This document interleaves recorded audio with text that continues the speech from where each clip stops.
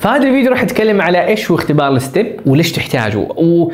والتكملة حقت هذا الفيديو اللي في النص حتكون مهمة وفي أشياء أول مرة راح تسمعها حتى لو كنت عارف إيش اختبار ال STEP. الشيء اللي أنا أنجزته في ثلاث شهور وثلاث سنوات يمديك تنجزه في أقل من كذا بكثير. كثير السلام عليكم ورحمة الله وبركاته. أهلا وسهلا بكم guys معك عبد الرحمن حجازي وهذا الفيديو عبارة عن اختبار ال STEP إيش هو بشكل مرة سريع وأهم من كده ليش أحتاج هذا الاختبار وأهم من كده التكملة حتيجي في النص اللي هو أسميها النظرة العميقة لهذا الاختبار أو نظرتي العميقة لهذا الاختبار.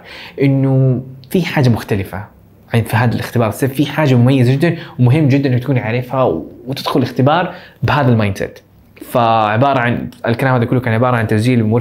masterclass قدمته قبل فترة but it's gonna be insane إنك تهجم عليه. بشوفكم على خير. اختبار ال STEP باختصار سريع جدا. اختبار هدفه وتركيزه بشكل جدا كبير إنه يساعدك يكون معك خطوة بخطوة تمام؟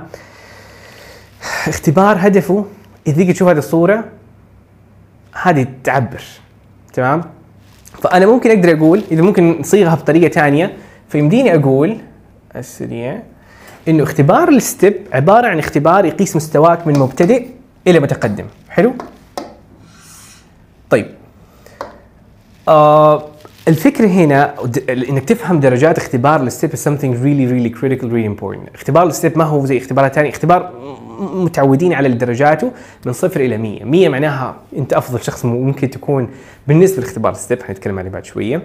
آه صفر معناها مستواك مبتدئ. لكن إيش معنى درجة 70 إيش معنى درجة 80 إيش معنى درجة 90 فاذا ممكن أصنفها إذا 40 ل 60 معناها مستواك مبتدئ.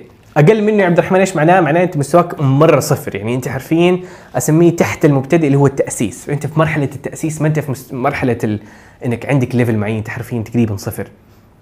ف 40 ل 60 مع مستواك مبتدئ.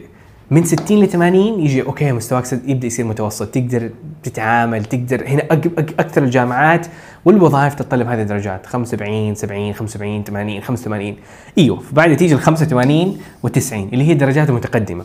اللي معناه أنت في ال English كويس ومشي أمورك. دقيقة عبد الرحمن إيش قاعد تقول لي؟ قاعد تقول لي إنه إذا جبت 80 و90 في اختبار ال STEP معناها أنه مشي أموري؟ إيوه. وهذا هذا هدف اختبار ال STEP اختبار ال STEP ما هو دوره إنه يقول لك أنت متقن لل English وأنت صفر في ال English هو اختبار هدف اختبار محدود. هدفه إنه يقول لك أنت تقدر تمشي أمورك ولا ما تقدر؟ إذا تقدر تمشي أمورك حيقول لك أنت جبت 80 90 85 95 شيء زي كذا. طيب بمعنى آخر طب guys ركز معايا. إنك تجيب درجة قوية في اختبار ال STEP حاجة أسهل بمراحل من اختبارات عالمية زي اختبار ال IELTS.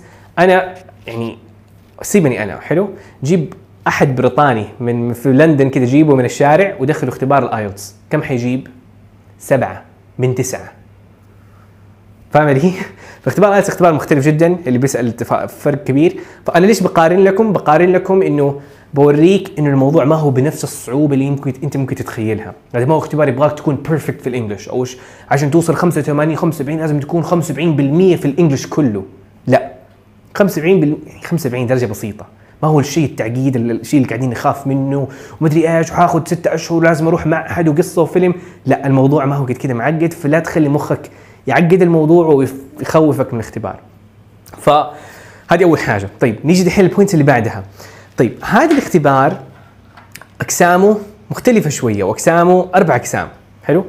استماع بعد القراءة of course حلو؟ في الاستماع إيش حتسوي؟ حتسمع مقاطع صوتية حيكون عندك أسئلة بتجاوب عليها. بعد عندك القراءة حتكون عندك قطع بتجاوب عليها. بعدين عندك قسم ال grammar أسئلة كثيره آه grammar حرفيا يختبرك على قاعدة of قواعد معينة وتجاوب عليها.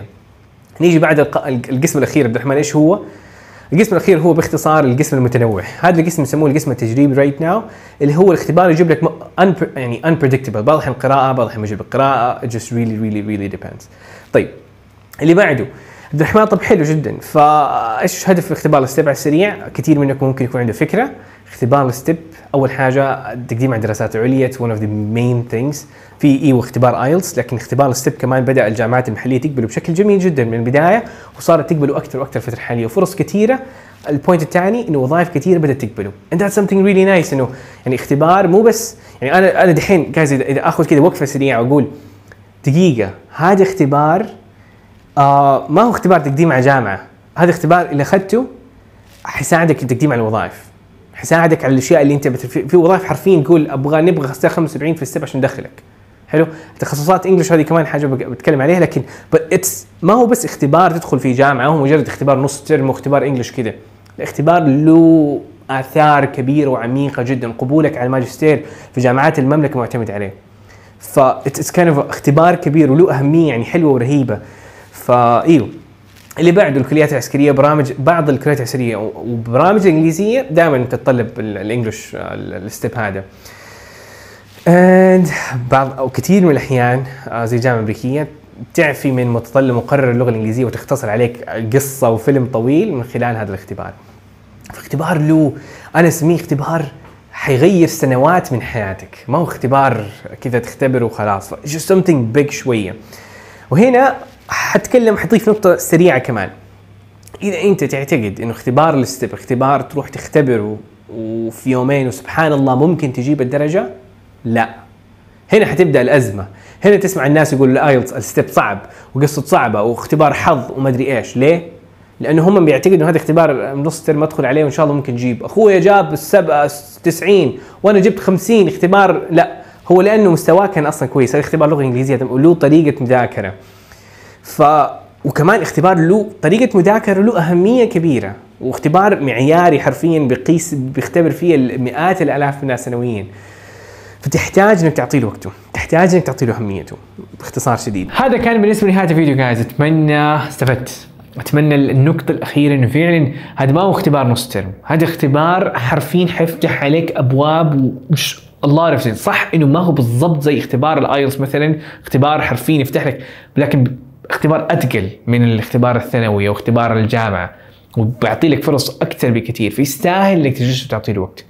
آه مع إنه يعني فايوه في ال limits حقت ال STEP واستخدام ال STEP أيوه له limitations مقارنه بال IELTS ال limitations حقته أكبر شوية. but لما الناس يسألون عبد الرحمن أوه okay هو نفس الوظائف بقدمها على ال STEP وال IELTS لا هذه حاجة كذا عشان كذا حابب أركز عليها مرة ثانية إنه لا ال IELTS له مثلا استخدام مختلف و broad أكثر شوية. هذا استخدام شوية نارو وشوية أصغر but مهم وكبير. والناس تدخل اختبار زي كانوا كذا ما شاء الله ذاكر في يومين أدخل اختبار وأجيب 90 لا ذاتس not that easy. اختبار لغة هذه لغة هذه هذه ما هو عبارة عن منهج كذا صغير تخلص وتدخل اختبار. فأتمنى استفدت. متحمس أسمع رأيك تعليقاتك الأشياء اللي استفدت منها وتعلمتها من هذا الفيديو. سبحانك اللهم وبحمدك أشهد أن لا إله إلا أنت أستغفرك وأتوب إليك. اشوفكم على خير.